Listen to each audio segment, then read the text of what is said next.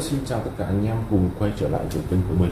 Ngày hôm nay mình sẽ chia sẻ với anh em về cách sử dụng cái kết quả trước để có thể là bắt được kết quả phiên tiếp theo ra được chưa? Tức là mình bắt cái tiếng mà mình đang chuẩn bị là đi bốn bảo ấy. Đó. Một cái phương pháp chơi tài xỉu uh, thắng cao có thể là đến cái kết quả chính xác cao như vậy thì mình phải dùng cái kết quả trước đó để mà soi đúng không? Đấy là những cái ván uh, chơi trước ví dụ là nó ra ví dụ như là trọng tài 12 12 thì đây là cái điểm xí ngầu của nó ví dụ như là 4 này ờ, uh, 5 này và 3 đúng không? Đấy, 5 và 3 đây là bằng trọng tài 12 đây. Đấy. thì mình sẽ phân tích đây cái điểm xí ngầu cái điểm phiên ở trong này đúng không? Thì anh em chơi ít nhất từ 4 đến 5 ván trở lên thì mới có thể sử dụng được kết quả trước đó đúng không? Thì nó kiểu là mình nhập tâm vào cầu rồi ấy khi đó mình sẽ dễ dàng là có thể là bắt được những cái giao thì chẳng có tự nhiên ai vào mà tự nhiên là thấy con tài 12 này nhắm bắt luôn được con tài 12 nữa được hay là bẻ luôn được con tài 12 xuống xỉu đúng không? Thì không bao giờ làm như vậy anh nhá nhé đánh như vậy là đánh láo ngay. Đấy. nói chung là khi mà mình để mà bắt được kết quả cái tỷ lệ uh, hợp lý cũng như là chuẩn ấy thì nhân quan sát từ 3 đến 4 tay cho mình. Đấy, ít nhất là ba tay nhé. ít nhất là ba tay.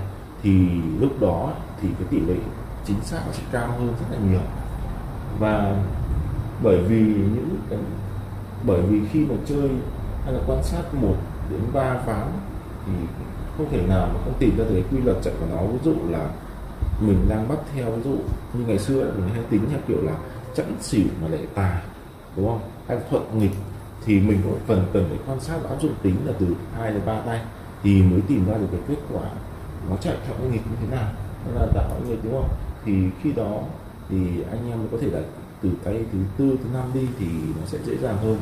Và cũng như là những kiểu là mình chơi nó sẽ nhập tâm hơn vào cầu nữa thì nó sẽ bắt dễ hơn. Thế chứ mà càng chơi nhiều ván thì cũng không khả năng là cao đâu, nhưng mà chơi là mình để ý được là cái điểm nó chạy này. Đúng không? Cái điểm thì soi xuống đầu có phải quen rồi thì nó sẽ là dễ dàng ờ, khi mà anh em chơi ấy, thì chỉ cần lưu ý cho mình.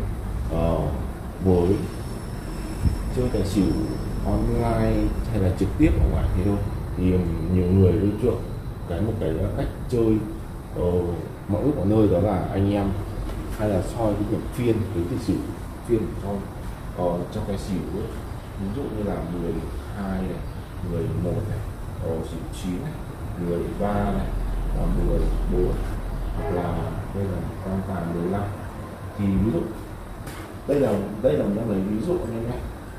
Là mình đang lấy ví dụ. Thì anh em hay so với cái sự sử phiên được chưa? So với cái sự phiên này. Thì anh em hay so nhìn theo ứng dụng là nhiều ông là cứ hay so ứng dụng à đang nhìn thấy câu là hai một hai rồi. Nhưng mà thực tế, hai một hai nó sẽ không xảy ra ở đây, thì nó xảy ra là chợ hai hai một ba, đúng không? Đấy. Thế là vì thế mình cần phải soi thêm chỗ nào nữa để nó, để có thể là nhìn thấy được là con tài này nó sao lại mọc trên ở đây? Vâng.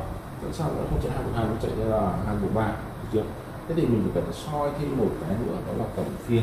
Đó là ví dụ khi mà nó sẽ là đây là 25 và 23 cái tổng phiên đây anh em có nhận ra được phiên à, tổng của hai cái cộng cử cộng của cái điểm số của lại đấy. Nên là cần soi hai cái điểm này nữa. Nếu như mà nó chênh lệch ví dụ là cái điểm tài đang thiếu đúng không thì điểm xỉu đang thiếu thì tức là nó sẽ hồi được tài nó sẽ ừ, từ một trên tài thôi đúng không? Đó nên là vì thế khi mà chơi anh em ít nhất là phải soi hai điểm thì xỉu phiên hoặc là cái tổng phiên cùng một lúc thì nó sẽ đạt được cái hiệu quả anh em nhé.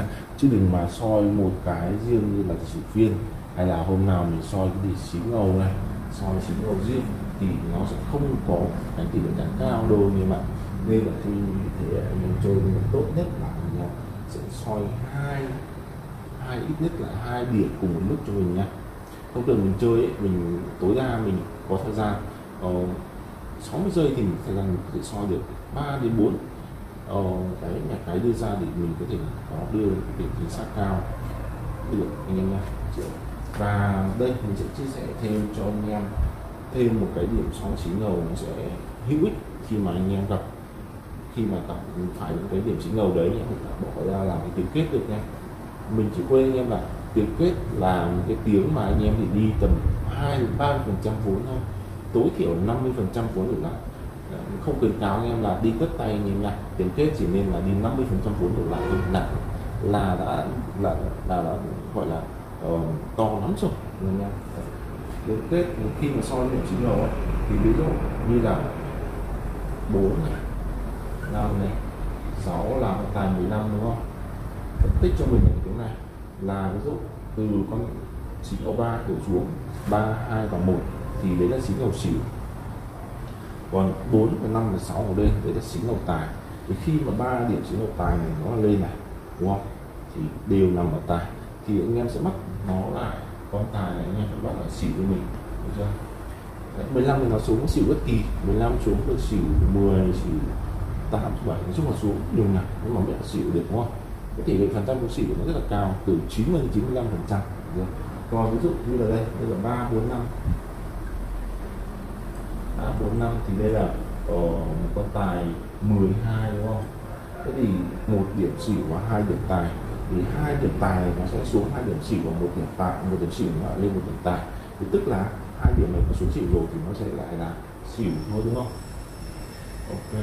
Thì cái tỷ lệ ba năm này, này nó xuống xỉu là cũng là 85 đến 90 phần trăm nó sẽ tỷ lệ xuống xỉu nha. Còn cái phần trăm còn lại là trong cái trường hợp là nó đang theo dạng là cái cầu bình nó sẽ theo xu hướng chạm cầu. Ví dụ là cái điểm tài nó đang thiếu thì nó sẽ vẫn là nằm ở tài. Còn không thì cứ bình thường cứ cân đối như này thì nó sẽ hồi về xỉu anh em nhá hai tiếng này cũng thể bỏ ra tính kết này. Hoặc là xí ngầu một hai ba. Một hai ba thì đây là xí ngầu ờ, ba điểm xỉu đúng không? Độ sáu. Thì cái tiếng này ba điểm xỉu anh em bắt tiền tài cho mình đúng không? Anh em nào mà chơi nhiều bộ môn tài xỉu online thì anh em để ý là sáu lúc nào lên được tài đúng không? 6 lên tài 11 lên tài 15 nói chung là 6 là một cái điểm uh, phiên lên được tài rất là đa đa dạng anh em nhé. Anh em có thể là quan sát rồi anh em sẽ thấy được là con 6 lên rất là nhiều điểm tài. Hôm nào mà nó ở xỉu chỉ đó chỉ có một là 6 kép thôi đúng không?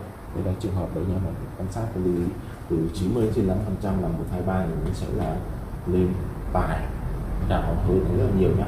Ok thì đây là một trong những lưu ý quan trọng khi mà chơi tài xỉu và cũng như là chia sẻ thêm cho anh em. Một cái mẹo nhỏ để có thể là bỏ ra tính kết khi mà anh em soi cái điểm xí ngầu anh em nhé điểm phiên Đấy, số xí ngầu đây. Đấy, ok thì uh, chúc anh em may mắn thì mình sẽ tạm dừng video đây và hẹn anh em ở video lần sau. Chào anh em nhé